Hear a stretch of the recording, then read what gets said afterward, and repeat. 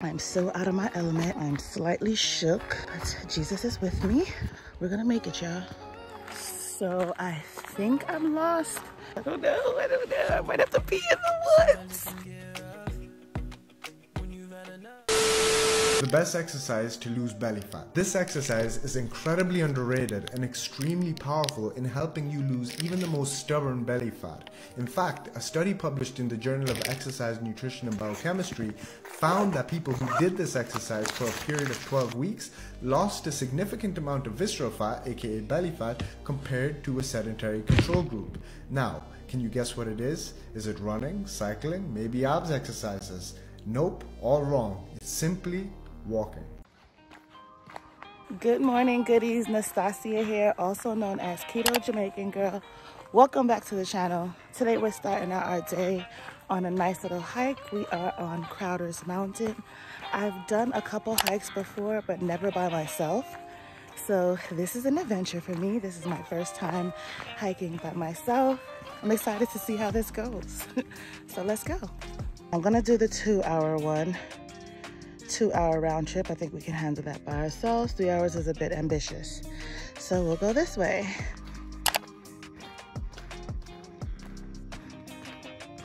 So I was going to um, listen to music while I walk the route, but I feel like I'm hearing random sounds because I'm walking by myself. So we're gonna take these headphones off and listen to nature. I don't know what much I could do if I did hear anything coming. Let me show you what's around me. This is the trail I'm taking. So I'm gonna just set a pace and listen to nature or put my headphones around my neck and turn it up just for a little motivation. I feel in my chest that I'm going higher because my breathing is feeling a little more labored but we gonna do this. we gonna do this. So I think I'm lost. I see these these red and blue signs, right? And it's leading me to an all dirt road. I'm gonna show you the dirt road. So am I supposed to take this dirt road up the mountain? I don't know what I'm doing at this point. I don't see any more red and... Oh, maybe I should just continue going straight. Oh, because I was getting tripped up by this and that. But I think I'm supposed to just continue going straight here over the dirt road through here. Do I go right or left? I'm going to go left. It's taking me to campgrounds when I'm trying to go to the top of the mountain. I don't know what that's about either. Oh boy.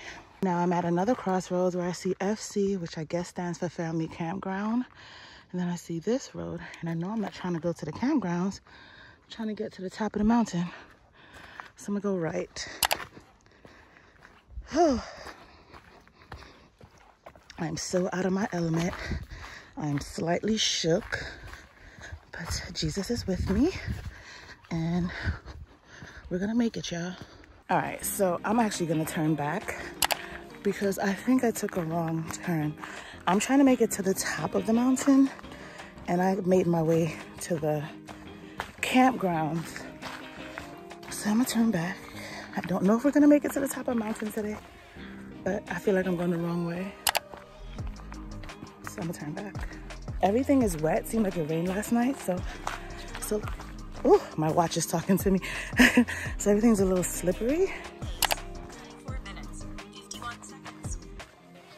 I could have had a faster pace too, but I'm so scared. I'm walking all slow and careful. Definitely could have had a faster mile than that. But yeah, we're gonna turn back. I guess the signs were here all along because this says campground, no access to summit. So that means I was making my way away from the top of the mountain this whole time. So I just wasted about 20 minutes. But so far we've done 33 minutes, um, 1.30 miles. I'm going to walk until I see a sign that leads me to summit. Reading is fundamental. I have a bachelor's and a master's and I missed all the signs or misinterpreted all the signs. Lesson learned, So now we'll be looking for access to summit signs. Let's go. So this is where I went the wrong way. Here it says Pinnacle Summit 1.5 miles and I went to the right instead of to the left. Again, reading is fundamental. I guess I was nervous about coming off of the trail. So I went up there instead of making a sharp left. So now we know for next time we make a sharp left. So my current problem is I think I need a pee and I, we don't do sudden movements and loud sounds. You don't know what it could be. But yeah, I think I may need a pee, but this is telling me I have one and a half miles to the summit. And I don't know, I don't want to fail at my first attempt. So I'm gonna try to make it to the summit still. I'm not really tired. I did 39 minutes. Um, I think it'll take me about 30 more minutes to do the mile and a half to the top. And I really want to do it. So I'm gonna continue on. Let's see what happens. I don't know, I don't know. I might have to be in the woods. okay, we have one more mile left to get to the summit. And this is the way to go. We're still making good time. Let's go. I think I'm at my last stretch to the summit. Just need to climb up this and then we're there.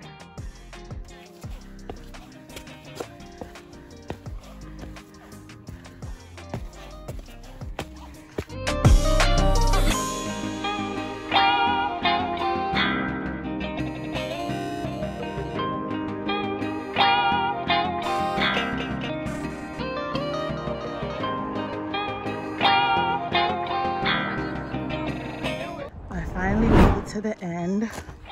We did 5.43 miles and we did it in two and a half hours. So I'm going to use the restroom and then we can go and have our first meal of the day.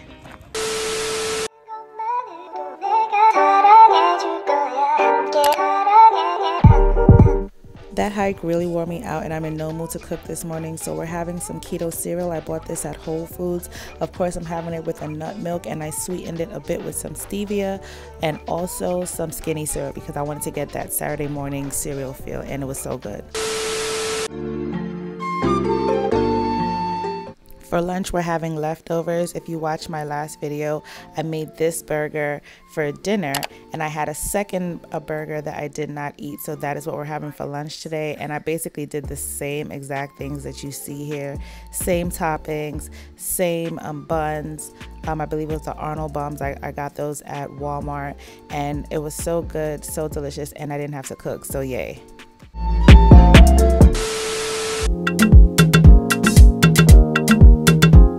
Have rested and regained my strength, so I'm ready to get in the kitchen and make a delicious eggplant dinner. I'm going to soak these eggplant pieces in a salt water bath to get rid of some bitterness so that when I add my other flavors, it'll be absolutely delicious. Carry me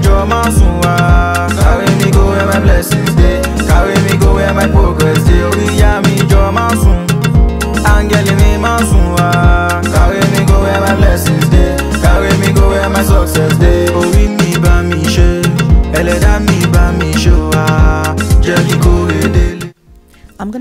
guys to pray for me. There's nothing wrong with me. It's just that I don't understand why I keep making these weird decisions. Like, why was I trying to put the square plate into the, the circular bowl? Like, why was I doing that? And then why did I get a plate this big to then try to push the eggplant down in the bowl? And then I finally got it right. I got something that was slightly smaller in circumference to push the eggplant down in the water because it was floating. So now we're gonna let the eggplants dry on a piece of paper towel just to get rid of the excess moisture. And then we're going to go on to season it and it's going to be so, so good.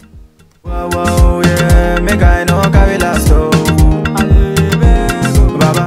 before we add the seasoning to the eggplant, I'm going to go ahead and make some lines in the tops and the bottom portions of the eggplant so that the seasoning can get into the center of the eggplant.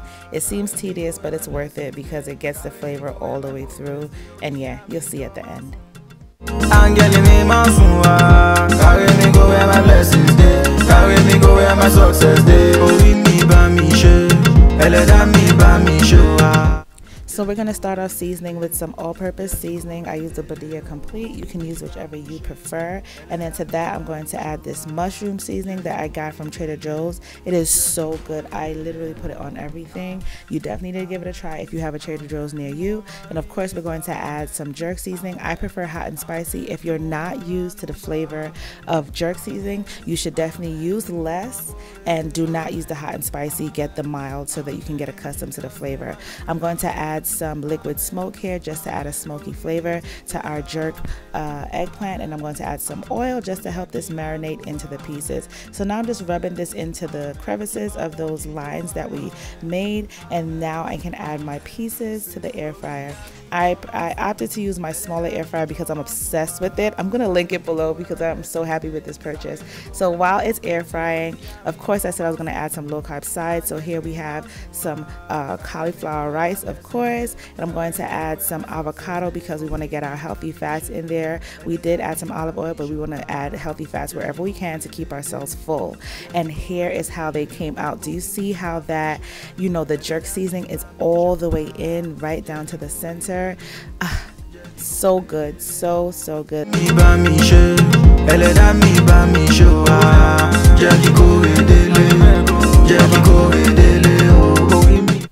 If you decide to give this dish a try, definitely don't leave out the avocado because I feel like the bites that I took with the avocado and the eggplant made all the difference. Like the combination of those flavors is so delicious. The jerk seasoning, of course, stands alone. It is a superstar. But paired with the avocado and, of course, the cauliflower rice, this dinner was so enjoyable. And I, you guys know I don't put on for you, I don't tell you something that isn't true. I'll tell you a joke, but I'll never tell you a lie. This was really good, and you should definitely give it a try. If you stuck with me to the end of this video, please go ahead and drop these emojis in the comment section to let me know that you're here and you're still supporting. For those of you who have not subscribed, please go ahead and do that. Don't forget to hit the thumbs up button because it really helps my channel and I really appreciate you all for being here. Thanks again and I'll see you in my next video. Bye!